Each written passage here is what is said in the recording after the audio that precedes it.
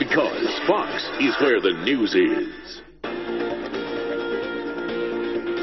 If you just got a new smartphone for Christmas, a company in Israel has designed a no cancer headset to keep people safe from radiation. Leland Vittert, live from Jerusalem now, with details on this thing. Hey, Leland.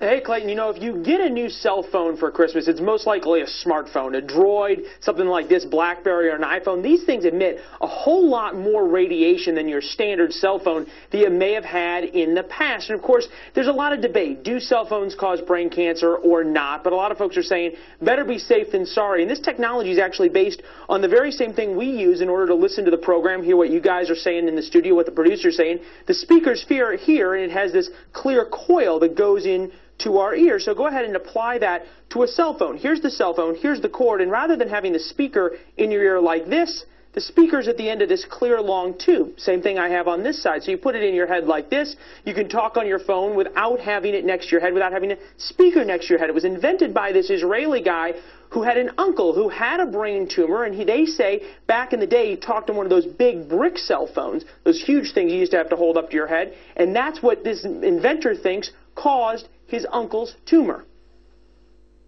The tumor was the same location and the same size and uh, place when you talk with the cell phone. I mean, it was uh, like a shape of the cell phone exactly behind the ear, and it was quite obvious that it happened from something that was put over this, this part of the head.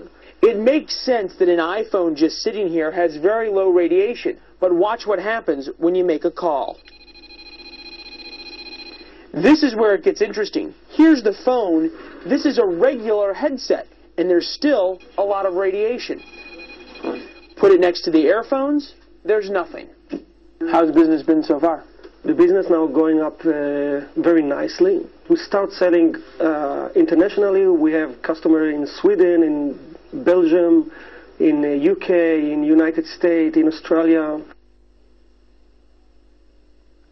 So the advantage here is obviously is that the speaker is farther away from your head. The issue we've been kicking around the office here is okay, so that means you don't get brain cancer, but now you have this thing next to your heart. And what the researchers will tell you is that the tissue here is much less susceptible to the radiation than your head is. This technology costs about 50 bucks. And the other thing, while it looks a little awkward, is that, Clayton, you can actually listen to your iPhone or any of your music on your BlackBerry through these things, and they say the speaker is a little bit higher quality than the kind of thing you get in your ear. It's called Smart and Safe, and it's about 50 bucks.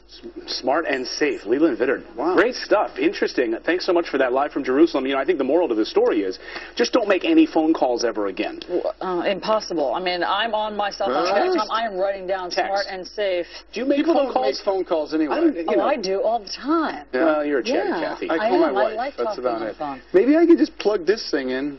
yeah. And then, yes, that would be great. And then all the viewers can hear what's going on in your head. Oh. No, it doesn't matter. No, you don't oh, want to hear that.